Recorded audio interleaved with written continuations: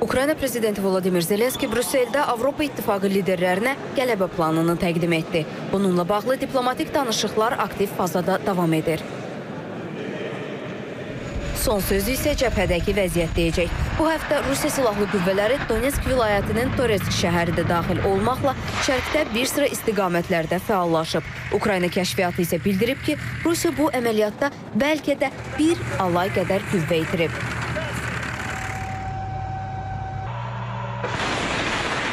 Украина, начиная с 2023 года... 2023-cü ilin oktyabrından müdafiə mövqeyində durmuşuq. Rusiya ordusunu hücum etməklə qat-qat artıq qüvvə itirir. Əgər Rusiya ordusunda vəziyyət yaxşı olsaydı, İrandan, Şimali Koreyadan kömək istəməzdilər. Kursk əməliyyatlarına gəlincə, onlar regiondan bizi çıxara bilmirlər. Düzdür, bəzi istiqamətlərdə mövqeləri ələ keçiriblər. Ancaq biz hələ də buradayıq. Ruslar öz ərazilərini hələ də geri qaytara bilmirlər. ресурсов. И по показателям этого года большого наступления Bir çox ekspert isə Rusiyanın qışı gözlədiyini və əsas hücumların bu dönəmdə başlayacağını proqnozlaşdırır. Qış Ukrayna üçün həssas zamandır. Rusiya ordusu məhz qış aylarında əsasən iri enerji infrastrukturlarını hədəf seçir. Ancaq Ukraynalı ekspertlər vəziyyətin Rusiyanın xeyrinə dəyişmədiyini deyirlər. Cəbhə bölgəsində vəziyyət dəyişməyib. Müharibə gedir ancaq Rusiya silahlı qüvvələrin irəliləməsi ilə bağlı bəyanatlar həqiqəti əks etdirmir. Kursk bölgəsində vəziyyət də dəyişməz qalır. Demək olar ki, hər gün həmin bölgədəki hərbiçilərlə əlaqədəyəm. Onlar Rusiya ordusunun heç bir mövqedə irəliləmədiyini deyirlər.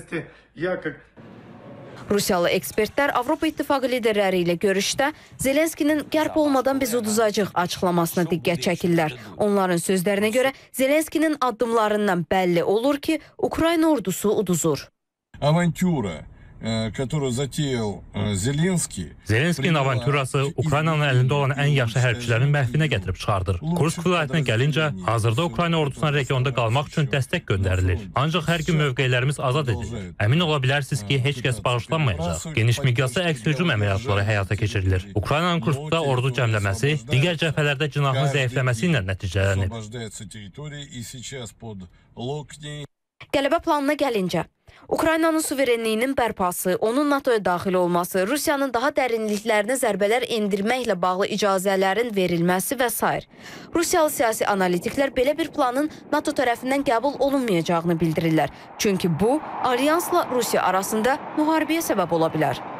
план Зеленского, который он пред- предоставил Западу. Zelenski elə zənn edir ki, qərb danışıqlara başlamağa kömək edəcək. Bir şeyi bilməliyik ki, Rusiya Zelenski ilə danışıqlara heç vaxt getməyəcək. Ukraynadakı vəziyyətə görə günahkar isə Birləşmiş Ştatlar və müttəfiqləridir. Зеленский